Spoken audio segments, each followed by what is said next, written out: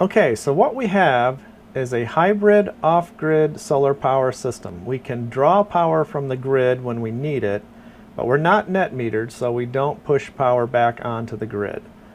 We have about 8,280 watts on the collector.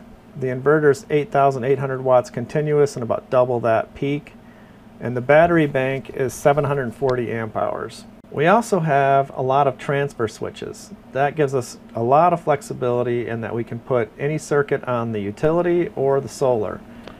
Okay, so let's start with a quick summary. We were running about 2,000 kilowatt hours a month before we installed solar, and now we're down to about 200 kilowatt hours a month.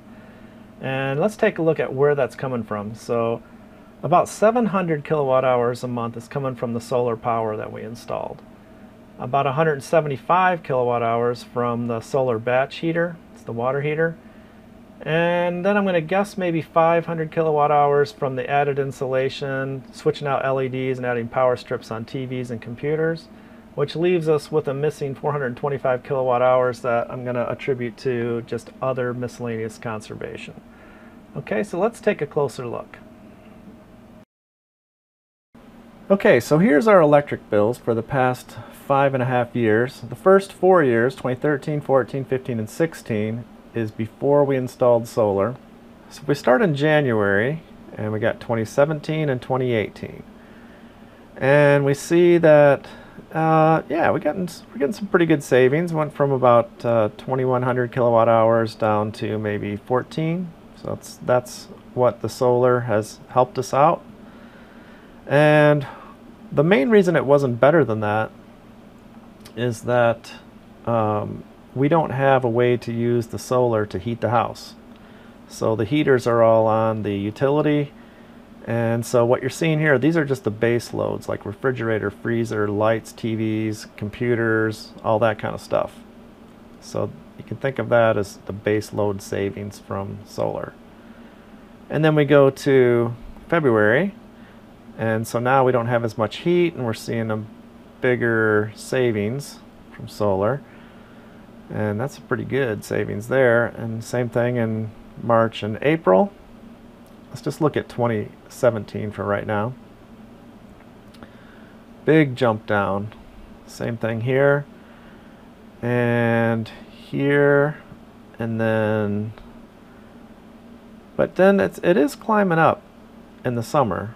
So even with the solar, it climbed up over the summer, and that's because all these big air, we have three big air conditioners, and they all run off of the utility in the summertime, so at least last year. And so those uh, bills did go up. Still a lot less than they were. Okay, until July, we added our first window unit. So by adding that window unit, now one of the big three air conditioners is going to be running a lot less.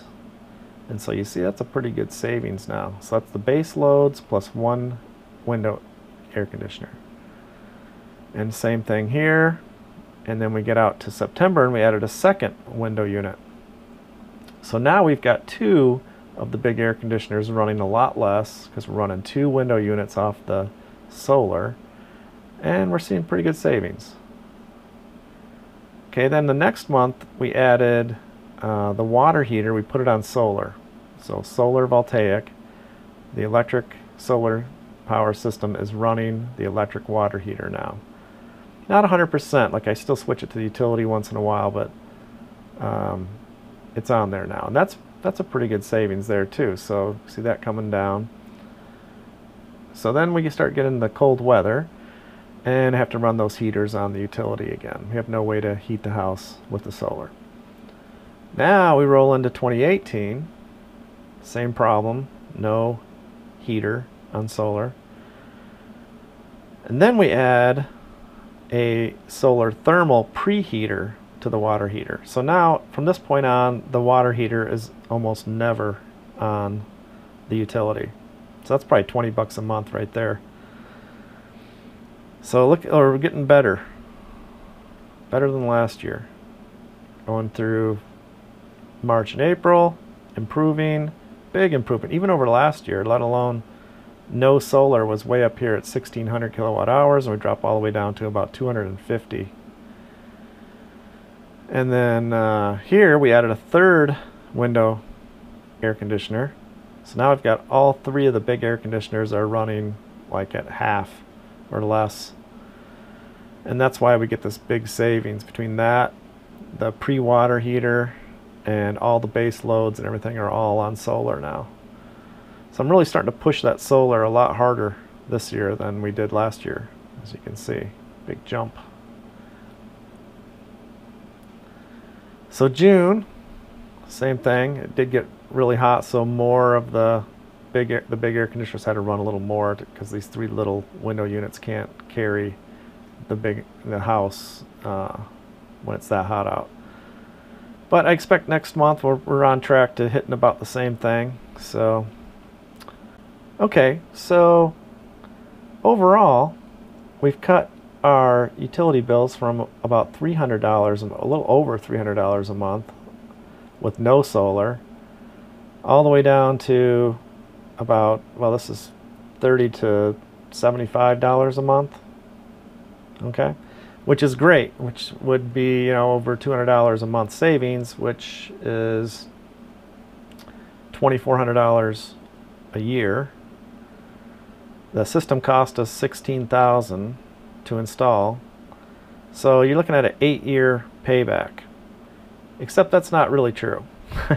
so the one thing we have to point out here is that not all of this savings is actually due to the solar power. I mean, and partly there's a, you know, I built this solar thermal water heater. That's $20 a month of it. And probably a big chunk, a pretty good chunk of it is just from conservation. So when you have solar, you automatically kind of go into this mode where you just start saving more. And, you know, so we, we switched to LED lights, we added more insulation, put power strips on TVs and computers and stuff like that. And so, I mean, you can do that without solar. So if you just want to save money, that's just a no-brainer. You go out and switch to LED, insulation, power strips, that kind of stuff, and you can save, I'd say 25% of it is probably just from doing that. And that's probably less than a thousand dollars. So uh, for less than a thousand dollars, you get 25% savings, and then if you want another 50% savings, and spend 16,000 on a solar power system. so, but overall, it will pay for itself. Um, you know, well, it'll pay off in eight years, but really the, just the solar portion probably take 12 years to pay off. All right, that's it. Thanks for watching. We'll see you in the next one.